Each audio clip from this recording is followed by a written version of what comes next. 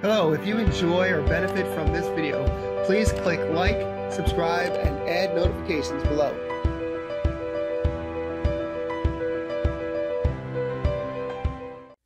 Hello, and welcome to this edition of Quad Hacks, Tips, and Tricks. Today I'm going to show you how uh, a real simple hack that I've been using for years with dealing with uh, zippers because quadriplegic has a hard time using his hands, no hand dexterity. So I am a C5-6 quadriplegic and I use rings uh, and I'm going to show you, I'm going to switch from an old bag to a new bag I can't actually do the switching, so I have my niece Morgan here. She's going to take the rings off the old bag. You can get whatever kind of bag you like. This is a standard Everest fanny pack. It's old, it's beat up.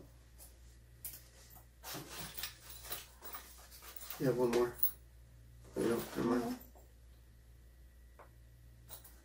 Just take the rings, put them in the holes. So you need to get a bag that's got holes in the zipper ring. You can pick up one of these bags online, Amazon, Walmart.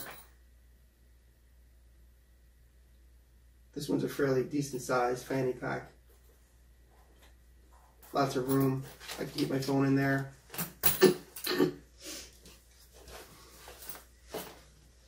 so from here, I can now zip, unzip, all the little zippers. And what I do for convenience is I wrap it around the back, wrap it around back of my armrest here, and then it's always here.